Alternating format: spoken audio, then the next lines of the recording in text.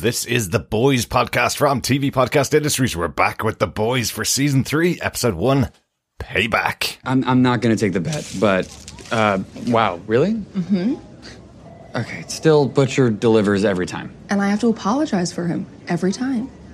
Look, Butcher's the guy you want in a shooting war. No question. But we're in peacetime.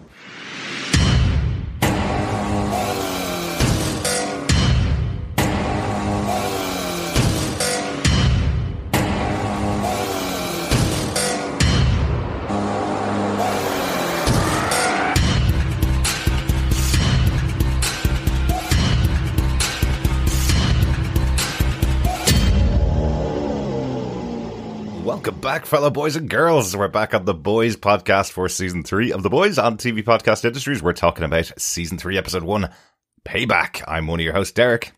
Hello there, fellow boys and girls. It is great to be back on mm-hmm. the Boys podcast. And yes, I am one of your other hosts, John. We're going to do this slightly different in this season. Uh, I have mentioned on some of our other podcasts, uh, we're gonna, not going to have John and Chris on every single podcast for this episode, but it is just myself and John for this one. Uh, Chris will be back later on in the season uh, as we go through, and we are recording a little bit in advance uh, for The Boys season three. And my mind is blown once again. Uh, I just love it. I love all the irreverence, the shock. Uh-huh. Um, I mean, one scene uh, that we will come to Mm-hmm. later on, uh, I thought it was one body part. It turned out to be another part of the body, um, and probably more shocking. Um, so Yeah. yes, the end result though was a lot of blood and a lot of gore. Uh, but yes, the irreverence here uh, is just very, very good. Yeah. Uh, and back straight in the wheelhouse of the boys. Yeah. Absolutely. I just think I forgot. I think it- it's been a while. We we did cover The Boys Diabolical, the animated series earlier on this year. If you haven't listened to those podcasts, you can get them on our main feed on TV Podcast Industries or on our Boy, Boys podcast feed. I'd suggest you check them out. If you get the chance to check the animated shows out, there are some connections that are coming into this season and there's some, uh, some of the style, I guess, uh, of the show is on display in the, in the Diabolical animated series. But, uh, it's just been a while since I've seen the live action. I went back and watched a bit of season two as well, just to kind of refresh my memory. There were some big, shocking moments that I did remember from season two, but some of the more minor, shocking moments are close to what we see in this episode. But we won't go into that right now. We'll go into it uh, in our spoiler filled discussion about the episode. If you haven't joined us in a while, make sure that you subscribe to the podcast at TV Podcast Industries. You get access to all of our episodes over there. And we'd love to hear your feedback. As I mentioned, we are recording these episodes in advance uh, of the release of the show. So we want to hear your thoughts as you see the episodes. How shocking did you think it was? Email us to feedback at tvpodcastindustries.com or pop on over to our Facebook group at facebook.com slash groups slash TV podcast industries. And you can pop uh, any of your thoughts in the spoiler posts over there for the boys. Yes, so let us get cracking Mm-hmm. into episode one of a new season of The Boys. Shocking, blood splatteringly Uh-huh. good. Uh, Derek, what are some of the episode details? Well, the people that you have to thank for that are showrunner Eric Kripke, who's the writer and uh, writes the screenplays for a lot of the episodes. Um, he is joined on the executive producer roster by Seth Green and Evan Goldberg, who brought us uh, Invincible, the cartoon, um, brought us many, many uh, shows and movies as well in the past, and did of course bring us uh, the previous couple of seasons of The Boys as well. Uh, this episode was written by Craig Rosenberg. Uh, he's an executive producer on the show and wrote, wrote episodes four and seven of season one and episodes three and seven of season two. Wow. So, yeah, in good hands here, and Mm-hmm. he has been bumped up to a season opener. Absolutely. What a job he did as well. Yeah. uh, the episode was directed by Phil Sgriccia. Uh, he's directed 45 episodes of Eric Kripke's other major show, The Supernatural. So, uh, long time collaborator of Eric Kripke as well. Uh, this is his third episode of The Boys after directing episode three of season one and season two premiere. Uh, he's also directing next week's episode or next episode, episode two uh, of season three as well. Yes, excellent stuff. Yeah. So the, the boys are back together, let's say. How he got the camera in uh, that orifice, Mm. I'll never know. I don't know. I don't know. The making of documentary or uh, or the X-ray on uh, on uh, Amazon Prime might tell us that. but John, do you want to tell us what they gave us with the synopsis for this premiere episode of season three of The Boys? Sure. It's been a quiet year since Homelander was subdued after his girlfriend Stormfront was revealed as a Nazi and burned up by Billy Butcher's superpowered stepson Ryan. But Stormfront is still gripping to life and other things as Homelander's frustration with events is growing, as he is continuously forced to tell the world he's just a normal man who fell for the wrong woman. When he takes his frustration out on former fastest supe alive, A-Train, Queen Maeve has reached the end of her patience. She brings in Billy Butcher to find the body of Soldier Boy, the long thought dead leader of the former supe group Payback. If they can find the cause of his death, maybe they can find the weapon that can finally kill Homelander. Maeve also has another weapon for Billy, Compound V24, a 24 hour boost of supe powers that might level the playing field. Billy Butcher is also working through his frustrations. With the death of his wife, Brett Becca, Billy now works for the Federal Bureau of Superhuman Affairs. It has been using the boys to take down rule breaking supes, including the diminutive coke fiend Termite. But created by government representative Victoria Newman and Hughie Campbell, it just doesn't have the same level of violence towards supes that his old life had. Plus, Hughie is now Billy Butcher's boss to add salt to the wounds. When Termite rips his boyfriend apart from the inside out, the boys think they have him. But Newman has made a deal with Vought Industries to keep the supe on the street in exchange for some lower level thugs. As Hughie begins to suspect his partner Newman, he stumbles across an encounter between her and a childhood friend that ends with Hughie's new wonderful life at the Bureau and with Starlight exploding in a pile of guts and blood. Excellent. I thought Hughie might get out uh, of the episode without being covered in blood and guts, but uh, but it was unlikely, really, uh, to start with. That's kind of the uh, kind of the way they have it uh, with Hughie Campbell, uh, always covered in blood and guts. Yes, I have to say, some of the reaction shots that Jack Quaid gives are the reason why he's getting so much work at the moment in TV yeah. and movies. He is so, has such a great face for for the type of things that are going on in the boys. It's fantastic. Um, that's where we're going to start. We're going to start with our boys, our protagonist moments for the episode. Uh, I'll choose one. John, you can choose another one of the uh, of the boys moments. Um, these don't always fit the episodes, but I think to begin with, we're kind of separate on separate paths of the seven, the boys, and any other outstanding moments that we have. So uh, let's kick it off first. Uh, do you want to go first, or will I? Go go first? Yeah, I go first. Okay, go ahead. Go ahead. It is Hughie. All right. Um, it's you know his new wonderful life. I mean, this is a year on. He has kind of he's got Starlight there in a fairly settled relationship. Mm-hmm. He is working for the Federal Bureau of Superhuman Affairs. Yeah. It's like the boys, except more bureaucratic and Yeah. kind of cleaner, really. This- He's this- not being yeah. splattered with tons of blood like he was in previous seasons. Exactly. Like when A Train went uh, straight through his girlfriend, the- the, opener of season one. Mm-hmm. So it, it it's really good to see, but you see through this episode that what's happened in season two has been great for Hughie, and it contrasts with the likes of Billy Butcher Mm-hmm. uh, as well as Homelander. But you see the little sort of cracks that begin to appear in this whole um, new life, this Mm-hmm. new wonderful life, uh, this new wonderful so-called life that Hughie thinks he now has. Yeah. And it's primarily around um, his job in the the bureau. It's he really likes Victoria Newman. Yeah. He gets on with her. They have banter over lunch. Absolutely. She wants to share his bagel. It all seems quite rosy. Yet there are moments here uh, where something just sort of pops its head above that perfect uh, world. And that is a man called Tony, who is recognizing Victoria Newman. It was firstly at um, a star-studded event for the, the launch of the new Vought Studios or Vought Plus um, Dawn of the Seven. Uh, it's really taking from Disney and Marvel Studios here really, Absolutely, really well. And don't forget, also a, uh, a commentary on the on the Snyder cut as well, because they say it could have been just dumped on the streaming channel, but because of the hashtag of save the uh, save this uh, director's cut, the Bourke cut, uh, they were able to get it out in the cinemas.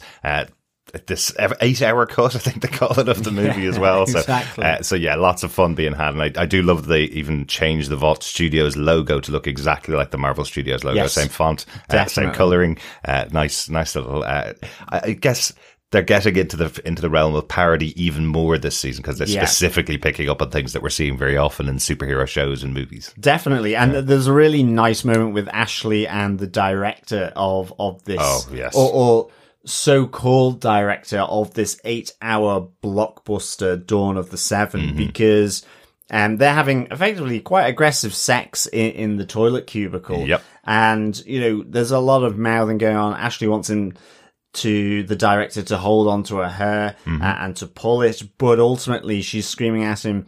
Tony Gilroy had to do all your reshoots, and he's like shouting, "I know I'm a fraud, I'm a fraud." it was just really, really funny. And the other interesting thing about Dawn of the Seven movie that's on display here is Mm-hmm. Stormfront is played by Charlize Theron. Yes. uh, who and again, she is dressed in purple with all the purple clothing, Mm-hmm. which is very, very close to her role right at the end of Doctor Strange Multiverse of Madness as uh, Clea. Mm-hmm. One of Uh, your Doc- favourite comic One of my characters? favorite comic book characters.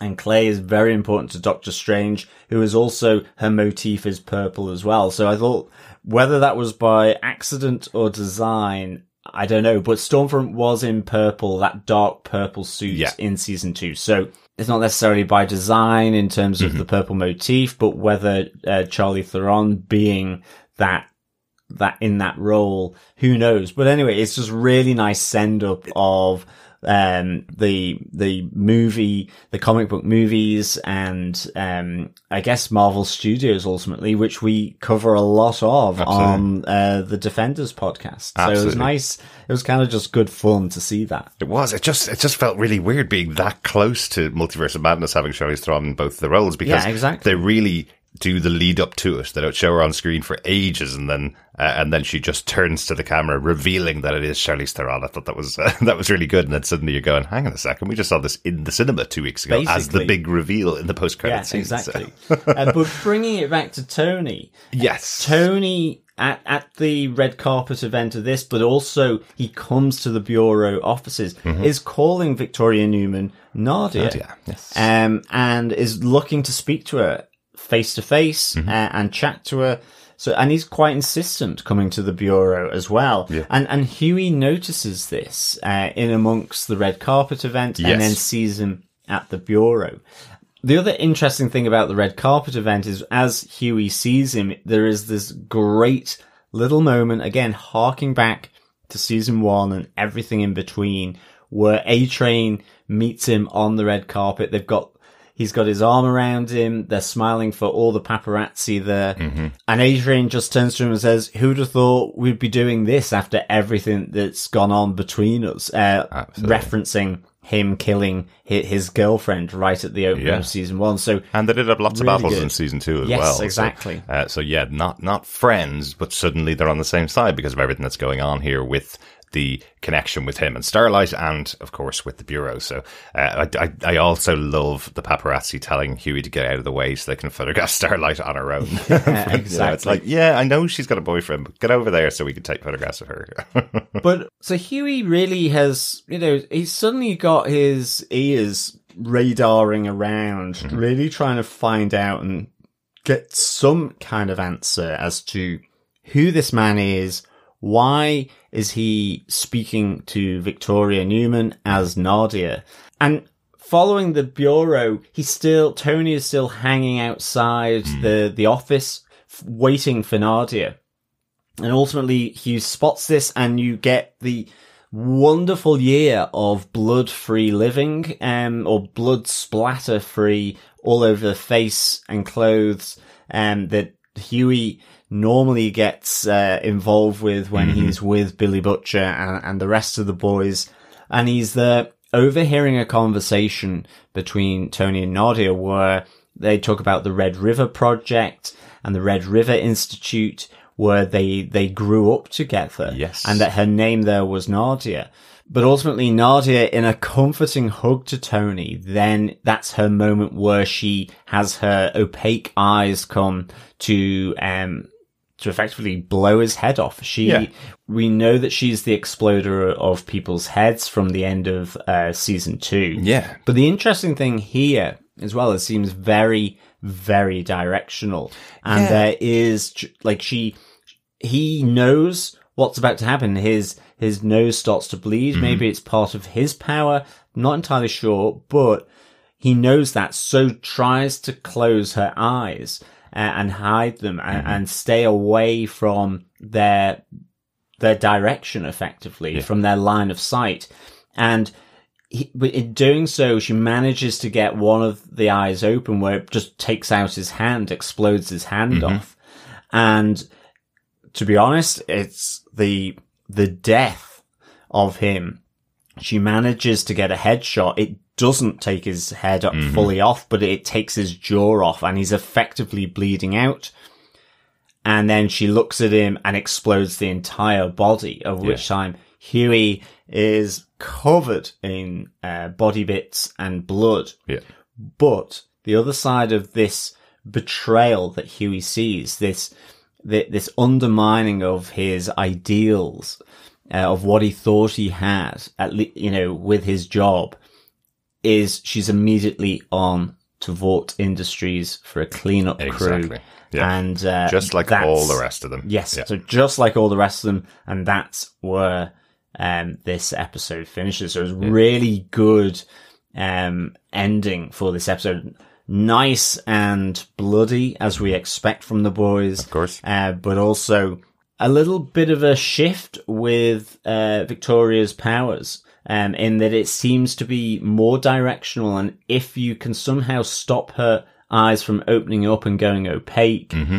She can't actually utilize her power. Yeah. Blindfolds at the ready. Yeah, exactly. Um, yeah, I, I did. I really liked that kind of addition to it, as you say. With last season, all we'd seen were these heads exploding, and then it revealed right at the end that Victoria Newman was the one that was doing it. Now having this twist on it that she's not even Victoria Newman, she's somebody else that we'll learn about uh, as the season goes on, Yeah. and that this power is really different. At one point, just the uh, red. Uh, River Institute. Uh, we did see that back in uh, the Diabolical animated series, the Red R- River Institute, is where the orphan kids are.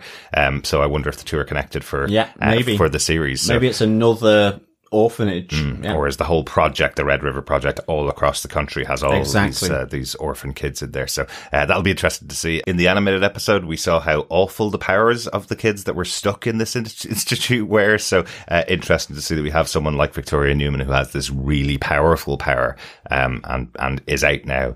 Uh, in the streets, so uh, so that yeah, that was a real a real shocking moment, particularly for Hughie as well.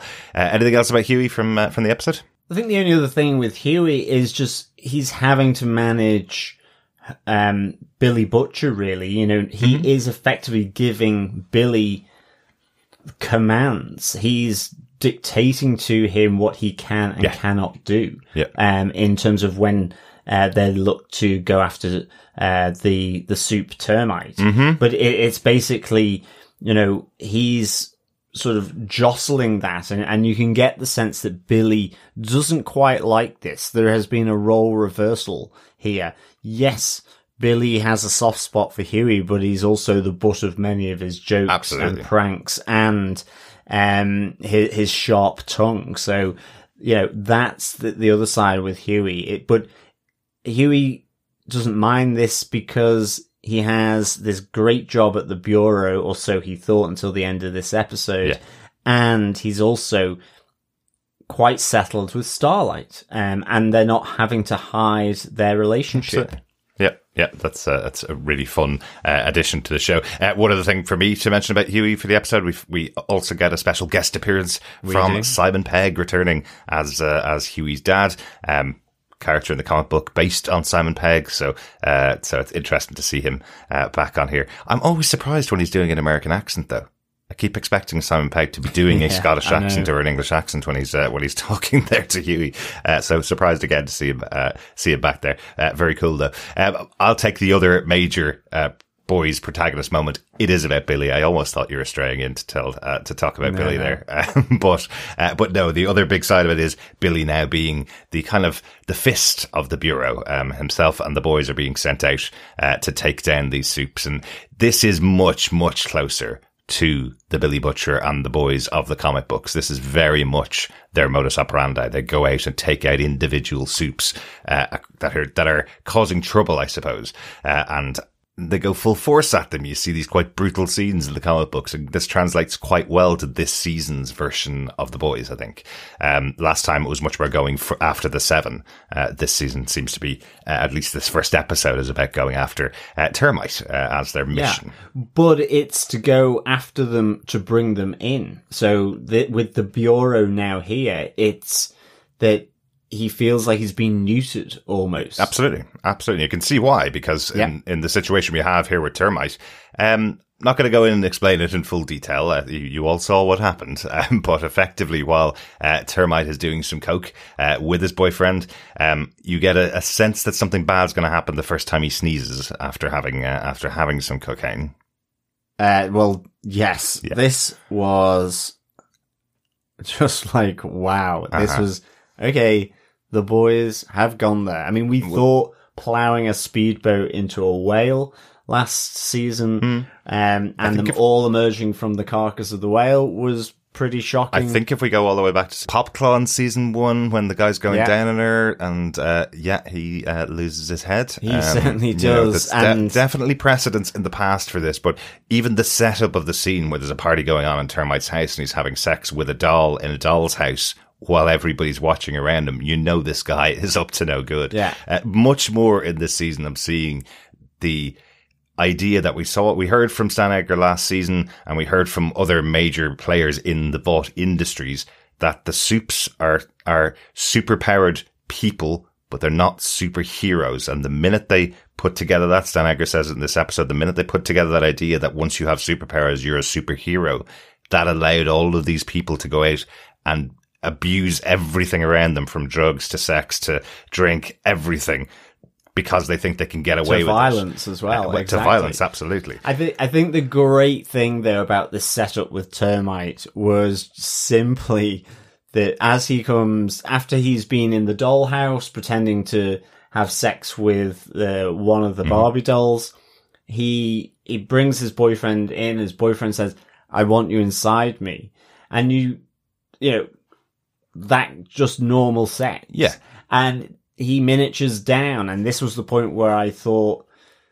Okay, when when I saw the hole, I thought it was the rear Ah. end, and instead Yeah. it was the front end, and of course, giving sexual pleasure from the inside here, Uh-huh. literally uh, with whole body. But yes, he has done way too much cocaine, and his nose is kind of, you know, it's that sort of.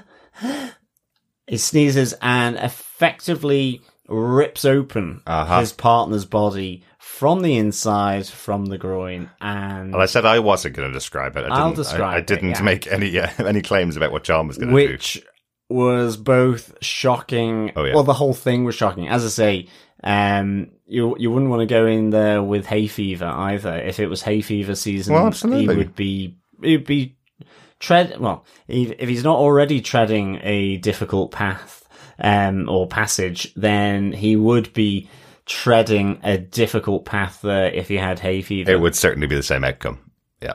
Absolutely. Um, but these are the things that will turn people off or just make people love the boys. Exactly. It's so outrageous, so outlandish, so sort of literally in your face. Absolutely. And, and as it continues, the, the resolution, as I say, the reason why Billy feels like he's being neutered is what happens to the team that are sent in. Frenchie and, and Kimiko are sent in to take out Termite, Yeah. to capture Termite.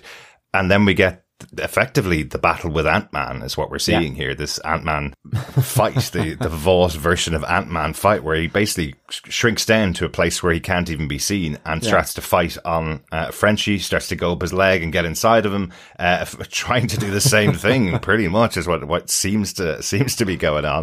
Um, Absolutely. Sorry, I was just I'm laughing because I just think, well, you wouldn't see that in a Marvel Studios You picture. would not. You really wouldn't. You would not, but there is a comment uh, on that, which was uh, remember uh, the internet meme that was going around about how Ant Man could have killed uh, Thanos. Yes. That's effectively what Termite was trying to Exactly, do to Frenchie. yeah.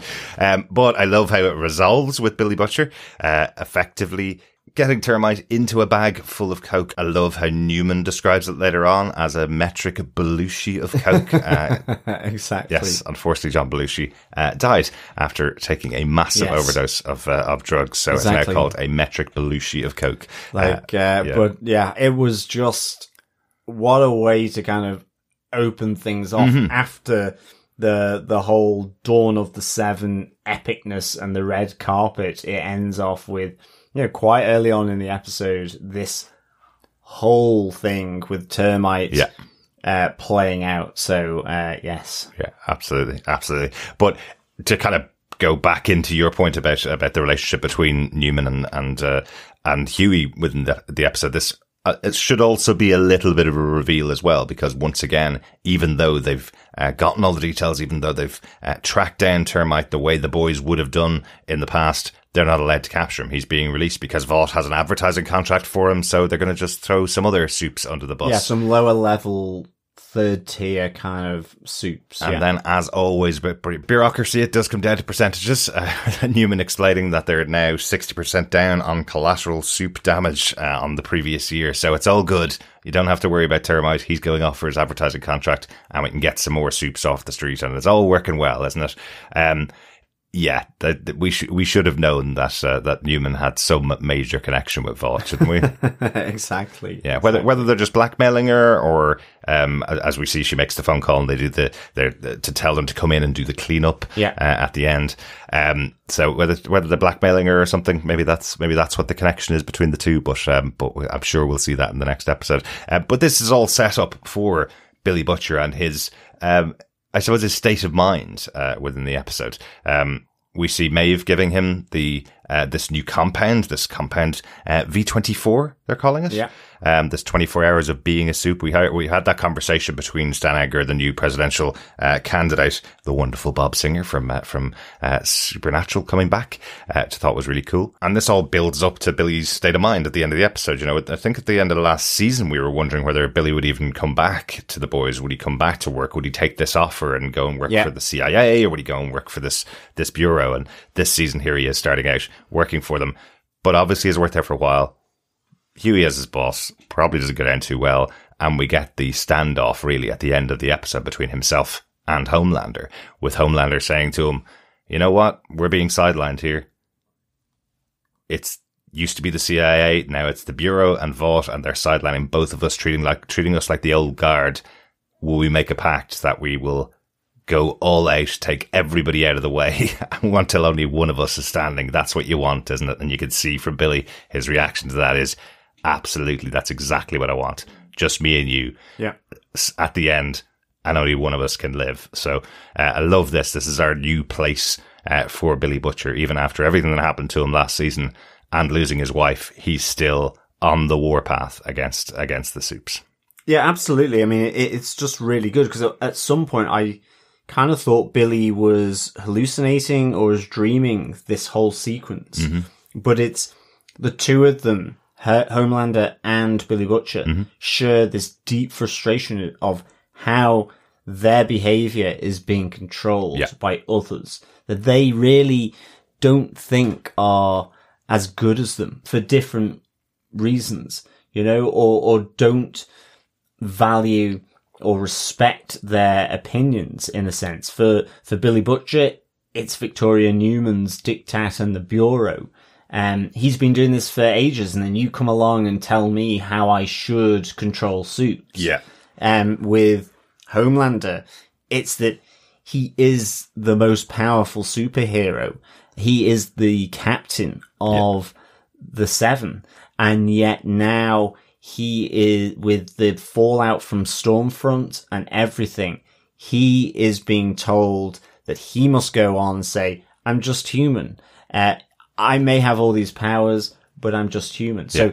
it, it's this mutual frustration. And this scene was just so good. I mean, it, again, it, it's to Anthony Starr and, and Karl Urban and, and how they just chew the scene so well in terms of the tension it provides to the scene. Um, and, you know, because ultimately Homelander is there to try and find out where his son Ryan is.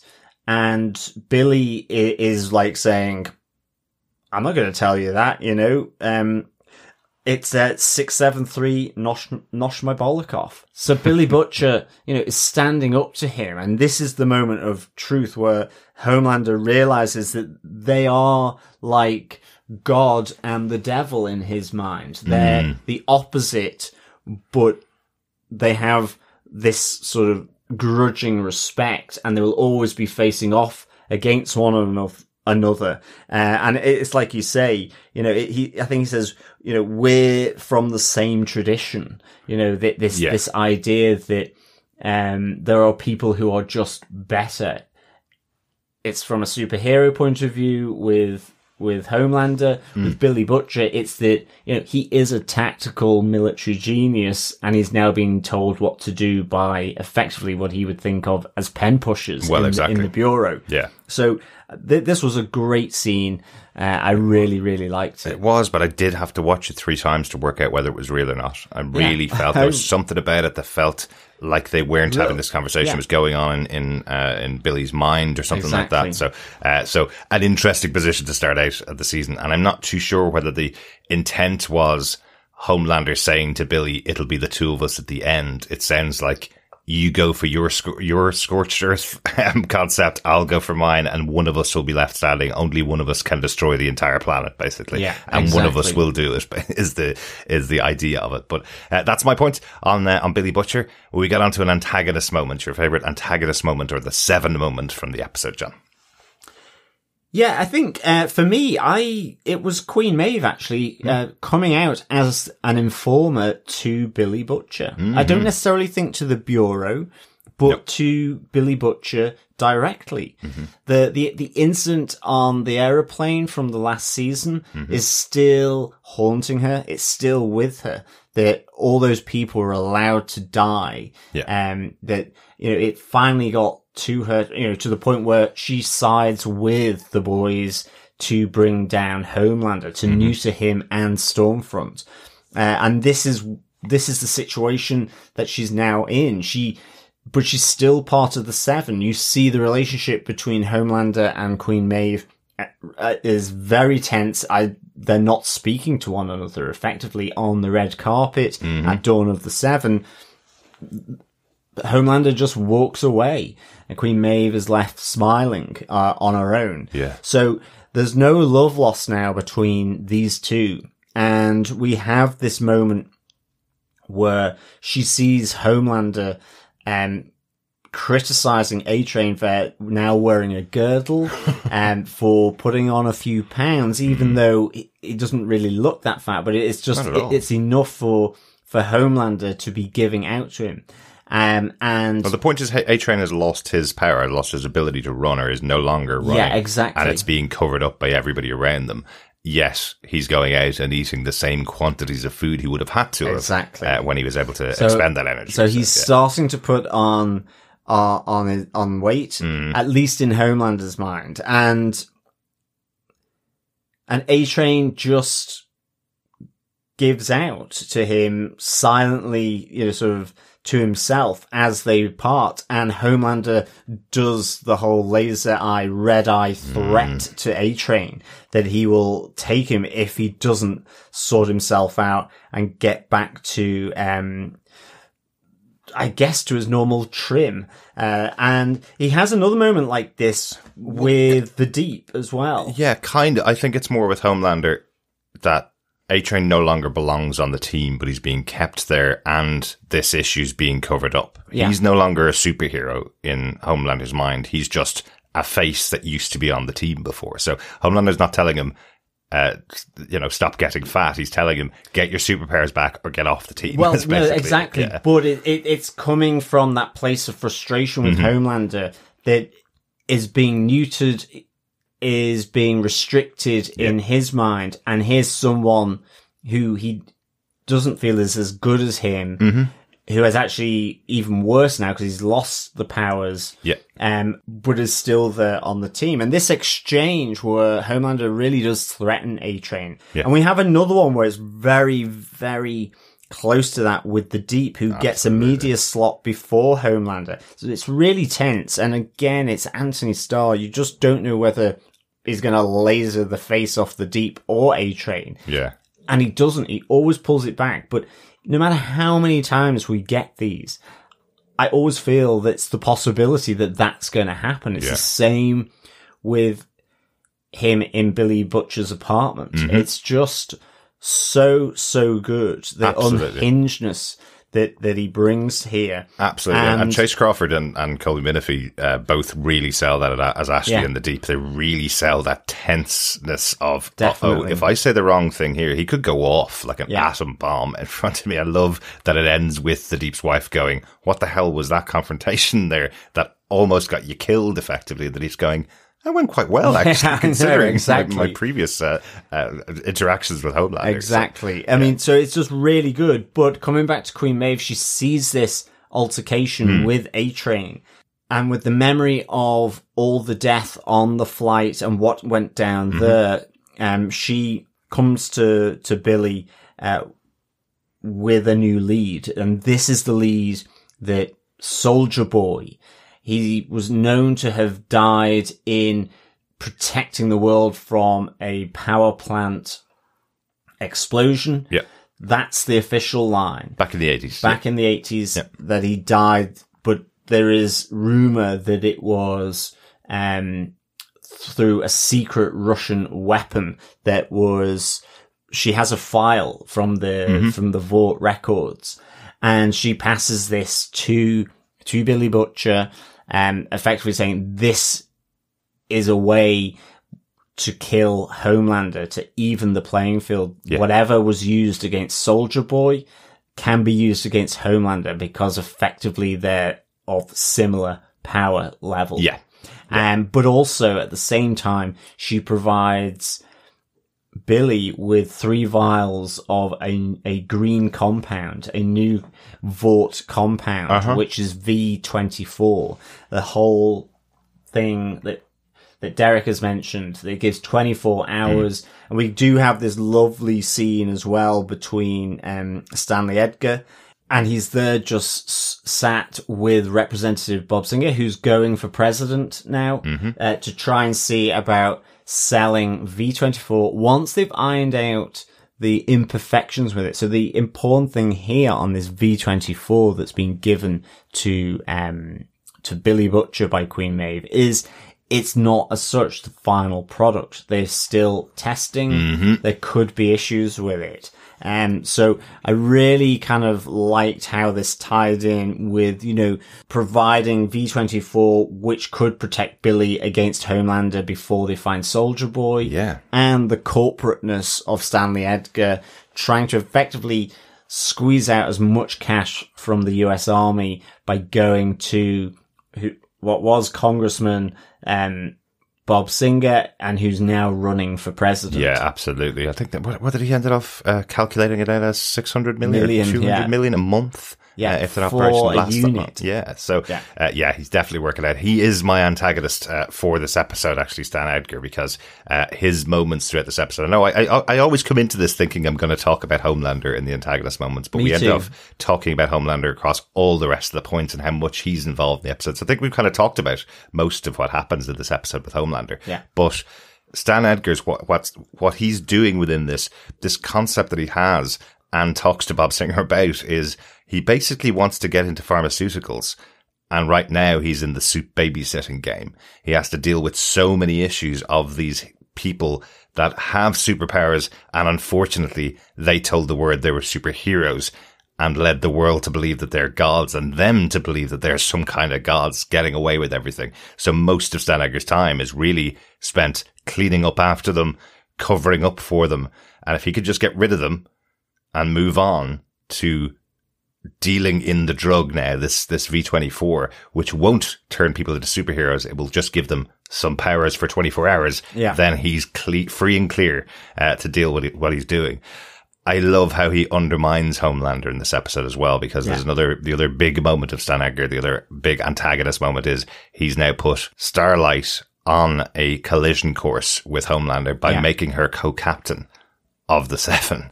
Uh, there, there's that great moment where he brings the two of them in for a meeting. Homelander basically tells Starlight to uh, to get lost because he has a special meeting with Stan Edgar, and then realizes the meeting is actually for both of them uh, to determine who's going to be the, new co-captain. Um, and then he sends Homelander off packing as well. So to add insult to injury, the numbers don't lie. Everything that's happened since Homelander got involved with a Nazi has started to erode the reputation of Vought, and he's going to pay for it. Is effectively the way the way Stan Edgar's Yeah, uh, e- looking e- at it. exactly. I, what was really good here as well is just that, you know, as Homelander leaves, Mhm. Stanley Edgar closes kind of the blast doors from the Death Star Yes. over, but continues to talk. And Starlight's a little bit shocked by this Uh-huh. because she's saying he can hear through those. Yeah. Because he's being quite detrimental about Homelander. Absolutely. And, and saying to Starlight, this is your opportunity. Think about it. Mm-hmm. This is power, not being able to. Exactly. sort of do a force push. This is power, mm-hmm. being able to control the behaviors of people. Yeah. And he, you know, he's right. He is a non-superhero CEO of a corporate multinational. Exactly. And he has no superpowers, but can, but is controlling the most powerful man on the planet in Homelander. So I, Yeah. I loved that whole scene. Absolutely, but I Um, did feel worried for Stan Edgar. He I did definitely- He did say Homelander could be listening outside, and his actual comment is he's in. He's effectively in control while I lead this corporation. You go, don't say something like that. That means you may not be uh, alive for much longer if if he thinks you're in control of him. Uh, that's my antagonist moment for the episode. Any other points and notes? Any other outstanding moments from the episode for you?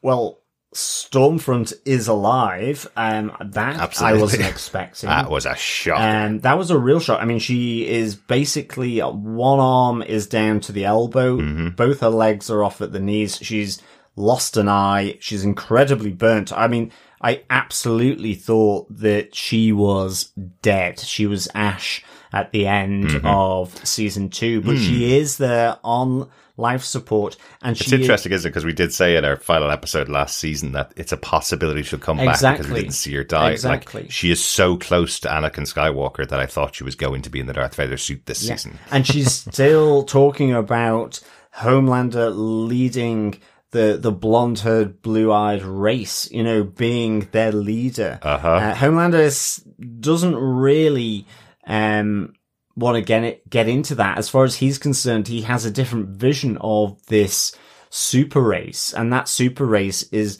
yes, he has blonde hair and blue eyes, Yeah. but the super race is that he's a supe. Um, he is the strongest of them all. Mm-hmm. Um, he doesn't have to worry about the ideology Exactly. of Nazism. It's like she said at the, you know, before she got melted down Stormfront to what we see in this episode. Mm-hmm. People like everything I say. They just don't like the word Nazi, you know, putting it with that Oh, jacket yes. on. Um, so evil, evil woman. but Homelander is kind of ambivalent a bit almost towards that. But he understands that he is a super race. But it's just simply because he's strong, he can fire lasers out of his eyes, he can fly, he's bulletproof, Yeah. immense strength, But all he's of that unique, kind of stuff. though, and they seem to be lining up behind him. She's effectively saying, "We are going to become the master race," and he's kind of looking at her, going, "You're not even on my level. Um, I am, I am the leader of the planet that I should be." Is kind of the way it, it's coming across. So, uh, really interested to see her back there. Yeah, but even as she's looking pretty rough in the hospital bed, Homelander is still trying to extract sexual pleasure from her. And uh, again, that's another uh, sort of uh, fantastic boys moment. Again, completely outrageous. Um, but who knows what goes on uh, in hospital beds? Only the matron, I guess. God, uh, right. I just think it's just one of those boys moments. Uh, It is. Yes, yeah, absolutely. I wanted to pull out a couple of nice moments from the episode, things that I really liked seeing uh, in the episode. Kimiko, um, who hasn't spoken for uh, for the two seasons, having her her moment singing "Dream a Little Dream of Me," I thought was absolutely lovely. Uh, that she has this kind of uh, this moment where uh, music is going to get her past her ability to speak, uh, and I was I was taken aback. I was trying to remember. Did she speak in the last season? That was there a moment that she that she had a big conversation like like uh, Silent Bob from Jay and Silent Bob? Is was is she just quiet? Not that she can't speak. So Yeah. uh, so it was great to see her uh, having this lovely musical number in there. Also, um, MM. Mar- Marvin is back home with his uh, with his wife and uh, and daughter, and then we find out he's not. It turns Yeah. out his wife has left him for somebody else. But um, But he's see come out of the, he's gotten out of the game. he's gotten out of the game. Or has he? But well, he is surrounded by supes at a superhero uh, themed birthday for his daughter Janine. Um, I have to say, I love his gift to her is the Flavor Flav clock. Your first Flavor Flav clock.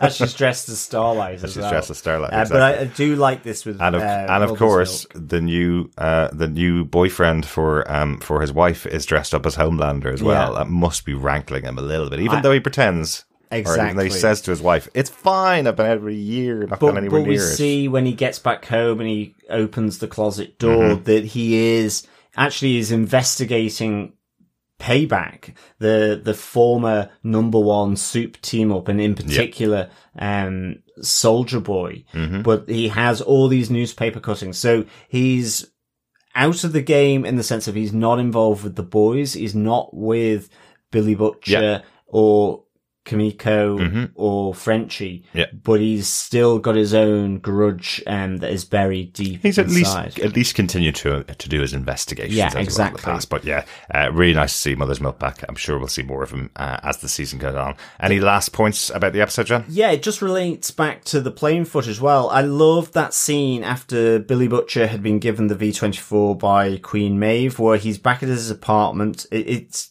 quite close to when Homelander comes to his apartment, but the plane footage is is being played, um, and he's watching that as the kettle is whistling and screaming higher and higher and higher, just like Billy Butcher inside. I just, it's, you know, it's just one of those nice little uh, motifs that happen in terms about the pressure that's building it. It also lends to the frustration that Billy Butcher is going through with his current situation and what's happening. So that was just a nice little shot. Yeah. Um, I do think the pitch got really quite high. I thought my eardrums were going to burst at one stage, but was. it was really nice little scene. Yeah. Nicely done.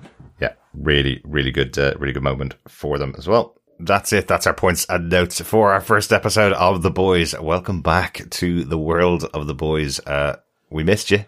Um, we forgot about you. I feel like I went throughout the whole of season one and season two, actually mostly season two, when we learned that Hughie was a, uh, a Billy Joel fan, complimenting the show for not playing my least favorite uh, Billy Joel song, uh, Uptown Girl, and it's played twice in this episode. so I don't know whether it was just uh, they wanted to use it or they didn't have the money to pay for the rights, but I really dislike the song. I'd hearing it twice, um, even though I like Billy Billy Joel, uh, I must say, but uh, I hate the song. so maybe connecting it with this type of uh, blood, gore, and violence uh, will make me like it more in the future. Okay, musical Stormfront. That's me. That's me.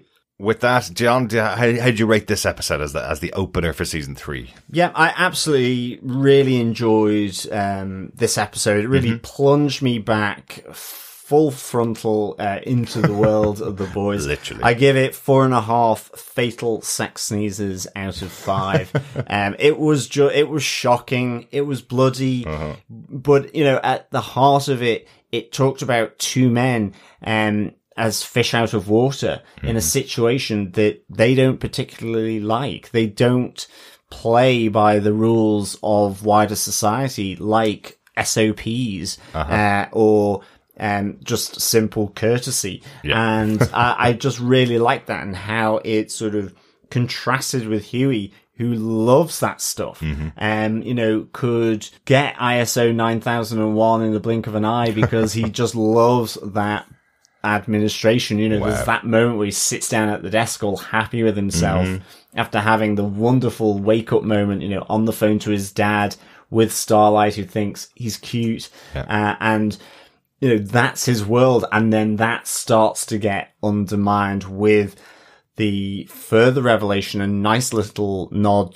to the diabolical short animations with the Red River uh, Institute, Red River Project. Uh, and we see that Victoria Neuman, not only has she been exploding the heads of cultist leaders and other congressmen, but in calling Vought Industries, you know, that mm-hmm. she has some connection, she is embedded in some way with, with Vought. Oh yes, oh, yes, uh, yeah, really good episode. Loved this great opener to it. Uh, I've missed the boys. Um, it's it's such a contrast to all the other shows Yeah. that we cover, and they know it because um, I think every single interview I've seen with all the cast are going. I know we said it last season that we were going to go wild, uh, but you haven't seen anything yet, and this opener is uh, definitely showing that. But once again, a well written episode and, and a good concept and a good storyline to kick us off for the season as well. Yeah, it's not absolutely. it's not just all about the shocks. That's what makes up the clips for the YouTube video at the end of the season. It is also about the characters and their interactions with each other. It's I really, really enjoy that about the show. Exactly. Yeah. Good stuff. With that, we are off to the pub, fellow boys and girls, and quizzes because we have the boys pub quiz. Pull up your pork scratchings, get some scampi fries, and of course, remember to have a warm pint of toenails as well, also known as bitter, Right. um, with you as we go to the Billy Butcher pub. I'll just go for a cold lager, thanks. Yeah, me too. Yeah. Yeah. Let's get the first question of our season of the boys pub quiz questions. Uh, when you get these questions, there's going to be one for each episode of the show. Uh, gather them together, send them in to us to feedback at tvpodcastindustries.com and you'll be in with a chance of getting your hands on some boys goodies. Question one, John. Where yes. Question one. What gift does Billy Butcher bring Homelander's son Ryan? Ooh, very good. Very good. Give it one more time. What gift does Billy Butcher bring Homelander's son Ryan? Excellent. That's the first question. Seven more to go. Get them all into us by the end of the season uh, at feedback at tvpodcastindustries.com. Thank you so much for joining us this episode. Uh, this episode of TV Podcast Industries wa- was brought to you by all of our supporters over on Patreon, including Heather Wallace. Thank you so much, Heather. Yeah, thank you, Heather, for the support over on Patreon. Really uh, good of you. Thank you. Yeah, thanks so much for your support all the way along, Heather. Great to great to hear from you, and great to have uh, your support over on Patreon. If you want to support us, you can support us monthly for any amount over on Patreon at patreon.com slash TV Podcast Industries. Or if you'd like to support us with a one-off amount, you can also pop over to buymeacoffee.com slash TVPI and buy us a coffee uh, to help us out with all of our editing processes. Yes, and remember, you can also support us by subscribing to the podcast over on your favorite boy or girl podcast catcher of your choice. Share the podcast, subscribe, rate us, leave a review, uh, but importantly, share it with friends, family, and whoever else yeah, you would like to, because sharing the love is, of course, sharing the podcast. Mm, absolutely. We've got loads and loads going on in the podcast, particularly during June. Uh, we'll, we will be covering the rest of the boys. Uh, next up is The Boys Season 2, Episode 2, The Only Man in the Sky. And we will also have our podcast about Episode 3, Barbary Coast out uh, later on this weekend. Uh, we are also covering Miss Marvel on Disney Plus and The Umbrella Academy Season 3 over on Netflix. So uh, lots and lots of things to talk about. Um, please join us. Please stay subscribed to tvpodcastindustries.com and please send in your feedback.